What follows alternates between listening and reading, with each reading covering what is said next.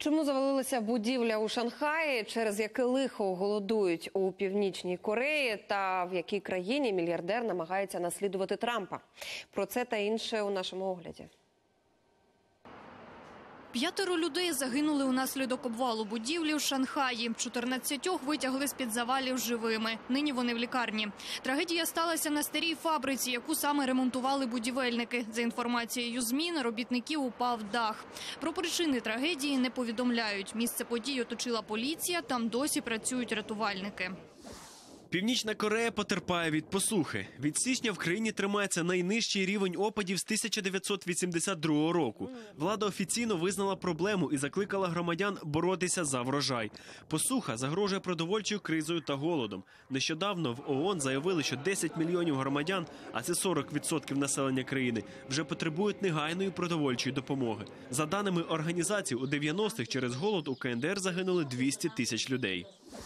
Австрійський парламент заборонив носити хіджаб у молодшій школі. За новим законом у дитячих закладах обмежили право вдягати головні убори з ідеологічних чи релігійних міркувань. Щоправда, на юдейську кіпу дія документа не поширюється, позаяк вона не закриває волосся. Порушення нового закону передбачає 440 євро штрафу. На розгляд депутатів уряд надсилав його тричі. У жовтні 2017-го в Австрії заборонили носити у публічних місцях одяг, що закриває обличчя. Музей статуї свободи відкрили в Нью-Йорку поруч з легендарною скульптурою. На урочисту церемонію з'їхалося чимало знаменитостей. Зокрема, телеведуча Опрі Вінфрі, мільярдер Джеф Безос, дочка Біла та Гіларі Клінтон. Музей будували з 2016 року. Витратили понад 100 мільйонів доларів. Серед експонатів оригінальний факел статуї, який замінили на новий 30 років тому. А також відео та презентації про історію леді Ліберті.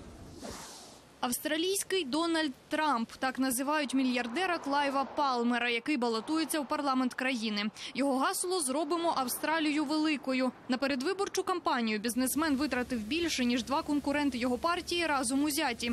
Утім, за прогнозами соціологів, на виборах 18 травня поліцила Палмера не візьме жодного мандату. Робота канатохідця змайстрували у США. Поки він вміє ходити по бетонній шпалі між двома платформами, тримає рівновагу і орієнтується в просторі за допомогою оптичного локатора. Розробники ще працюють над вдосконаленням механізму. Опісля він зможе працювати під час надзвичайних ситуацій і рятувати людей з важкодоступних місць. Зграю скатів зафільмували з дрона біля узбережжя Австралії неподалік Сіднея. Риби потрапили на відео безпілотника, який стежить за наближенням до берега акул. Біологи кажуть, таке видовище велика рідкість. До того ж, скати зазвичай не запливають у ці води.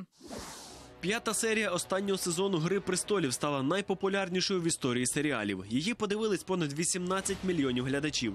Попередній рекордсмен третя серія цього ж сезону. Шостий і фінальний епізод культового шоу шанувальники побачать 19 травня.